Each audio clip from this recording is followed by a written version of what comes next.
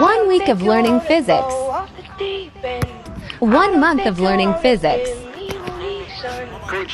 One year of learning physics. Shorty said she to kick it.